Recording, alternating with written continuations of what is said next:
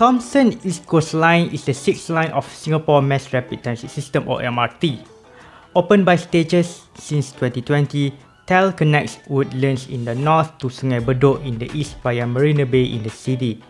With 43 kilometers in length and fully underground, TEL is neither the longest, the deepest and after 2026 the newest MRT line in Singapore. What are the reasons that Thomson East Coast Line uh, was built? Which area will the line serve and why uh, TEL is unique among all MRT lines? Let's take a trip in Singapore's underground world and understand more of Thomson East Coast Line.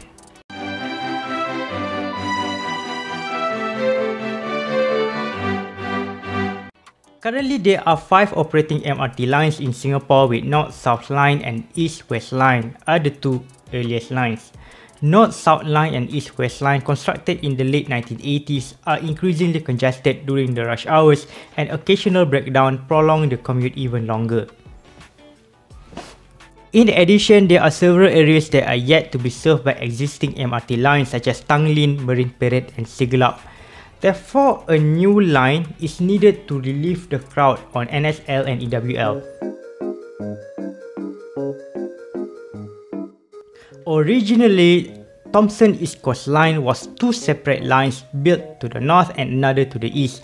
The MRT line to the north was originally called Thomson Line or TSL. The line would run from Woodlands North to Gardens by the Bay, which is quite similar to the current northern half of TEL. TEL, TEL, tell which one is the correct pronunciation. Thomson Line was named after Thomson Road and Upper Thomson Road, of which the line partly ran underneath. In turn, Thomson Road was named after John Turnbull Thomson, a British architect who lived in Singapore between 1838 and 1853. Thomson Road and Upper Thomson Road is the major road linking the city from Novena to Sembawang Road. It is the second most important road to the north after Bukit Timah Road and before the existence of Bukit Timah Expressway (BKE). TSL was appeared on the Land Transport Master Plan or LTMP 2008 to improve the accessibility to the north. The groundbreaking ceremony has been held on 27th of June 2014 at Woodlands with the original line name, Thomson Line. Before 2014, TSL is separate from another proposed MRT line that run on the east coast. The eastern half of TEL was once a part of Southern Alignment of Eastern Region Line or ERL announced in 2001 which is similar to the abbreviation of ERL Express Rail Link that linked KL Central in Kuala Lumpur to KLIA, Kuala Lumpur International Airport. The video is up here if you want to know more. Uh, maybe the same reason that the North-South Expressway is renamed as the North-South Corridor.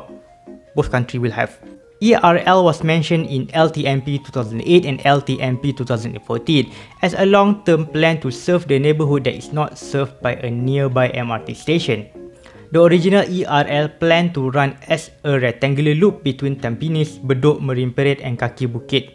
ERL aimed to reduce the congestion at East-West Line while providing MRT services to the areas far from East-West Line stations.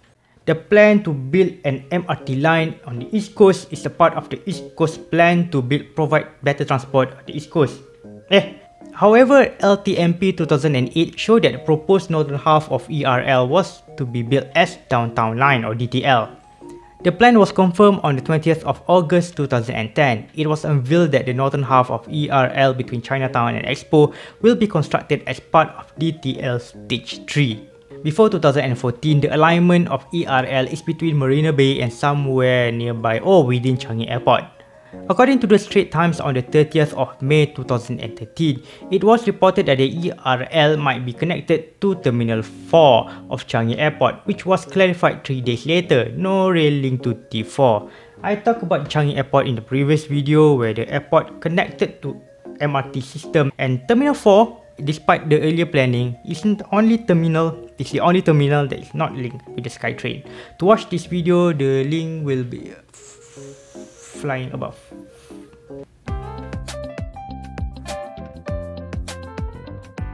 On the 15th of August 2014, two separate MRT lines of TSL and southern half of ERL are combined to become TEL. With the estimate cost of 25 billion Singaporean dollars, TEL is the most expensive public project in Singapore up to date by breaking the Downtown Line or DTL record cost of more than $20 billion. The rolling stocks for TEL were built by Kawasaki and CRRC Qingdao Sifang Consortium.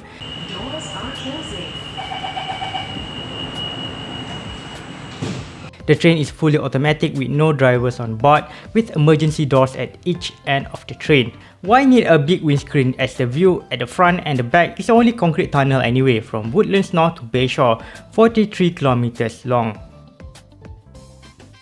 There are 5 doors on each side of the carriage, while other carriages on the other lines have 4 doors. The train serving TEL will be stable and serviced at two depots, Mandai Depot at Mandai and East Coast Integrated Depot at Tanah Merah. To add the construction challenge, TEL tunnel must avoid digging onto existing lines or at least damaging the tunnels in addition to the existing challenge of soil and buildings on the ground level.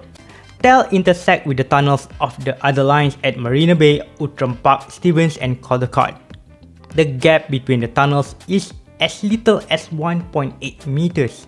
Therefore, the engineers used the ground freezing technology to make the soil sturdier and more stable to dig, thus prevent the seeping of underground water and earth collapse. There are several reasons why TEL is built and justifying the enormous price tag of more than 25 billion Singaporean dollars. Number 1, TEL serving the areas that yet to be served by MRT services. There are areas that not served by MRT other than TEL such as Tanglin, Upper Thomson, Marine Parade and Siglap. In addition, two of the TEL MRT stations will serve future development in Mount Pleasant and Marina South. Based on the LTMP 2040, the plan is to connect the population with MRT station within 10 minutes of walking or cycling. More MRT stations means better connectivity and less reason to drive a car. Number 2. Faster journey. TEL cut the travel time between city and the north and the east by several minutes, crucial in a country where time is money.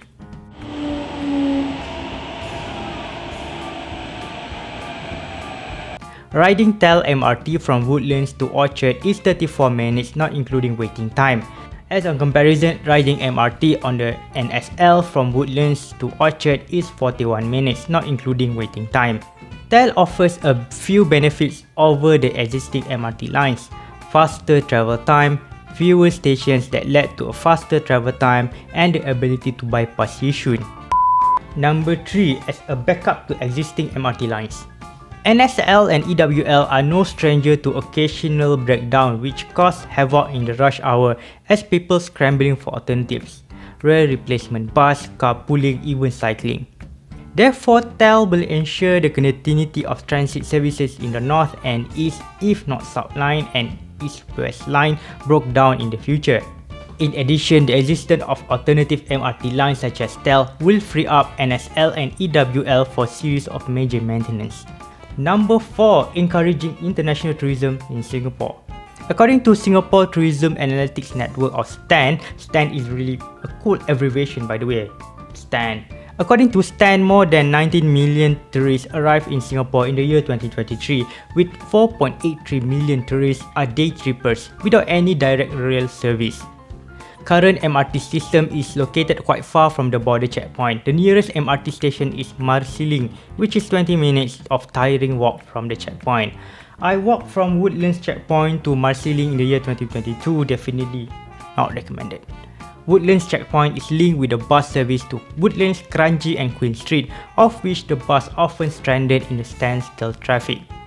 Meanwhile, current East West Line Changi branch makes the arriving passengers and workers from Changi Airport transfer at Tanah Merah, scrambling the space in the train with passengers from Simei, Tampines and Pasir Ris. Find a seat on the train after 6 hours long flight from Sydney? Not a chance. By linking Woodlands North and Changi Airport Terminal 5, Singapore will be more connected border to border.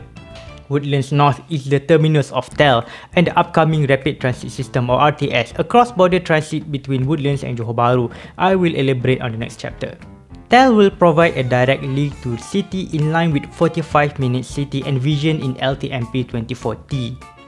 Popular tourist destinations such as Orchard, Chinatown near Maxwell and Gardens by the Bay will be accessible by MRT less than an hour after the passport was electronically stamped at Woodlands or at Changi. According to Land Transport Master Plan 2040, TEL will eventually extend from Sungai Bedok to New Terminal 5 T5 and Changi Airport MRT station. TEL extension will replace current East-West Line Changi branch from Changi Airport Station via Expo to Tanah Merah. By 2040, TEL will form a direct link from City to Changi Airport instead of a transfer on EWL at Tanah Merah Station. Previously, the board on the interchange station will state the full name of the line, example, North East Line. Because TEL full name is quite long and might cost more than a standard sign, TEL is the first MRT line that is not appear by its full name. Just TEL signs that tells you in the station. Can you tell?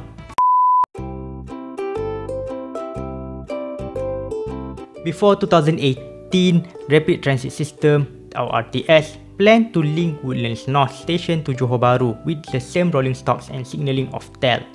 The reason of the need of RTS is due to standstill traffic at Johor Causeway and the shutdown of the cross-border trains between Tanjung Pagar and Woodlands operated by KTM. I talked about the former KTM line in the previous video where KTM operated cross-border train between Johor Bahru, JB and Tanjung Pagar before 2011. If you want to watch this video, will, video will be up here. The immigration and customs for both countries will be located in Bukit Chagar and Woodlands North Station, which is the similar current arrangement in Woodlands train station. Within one complex, there are immigration and custom checkpoints of two countries. The RTS was supposed to use TEL rolling stock with TEL signaling and sharing Mandai Depot as the other TEL trains. Thus, the original plan of RTS is basically an extension of TEL, but the name which in turn becomes the reason that RTS was cancelled due to the high cost and minimal involvement on Malaysian side. On the 11th of October 2019, it was decided that RTS will use LRT rolling stocks that similarly used in Kuala Lumpur to save the cost and because of Malaysian engineers are familiar with the LRT system, not this LRT, uh, this LRT system in KL, uh, bigger and more passenger capacity. Current RTS is under construction as in 2024 and scheduled to open by 2027. It is expected that RTS will carry about 10,000 passengers per hour per direction according to MRT Corporation Malaysia and LTA Singapore. Suitable topic when RTS uh, is ready to serve the public. So I see you again in JB in 2026. If you want to ride Thomson East Coast Line, there are 32 stations that are open to public by stages. The line between Woodlands North and Gardens by the Bay is open while the line to Bayshore is scheduled to open on 23rd of June 2024. There are several main attractions throughout TEL such as Orchard Road, Chinatown near Maxwell, Gardens by the Bay and Future Founders Memorial. Thank you so much for watching. I hope you learned something new about TEL as the 6th MRT line in Singapore. Thank you so much for watching and see you in the next video.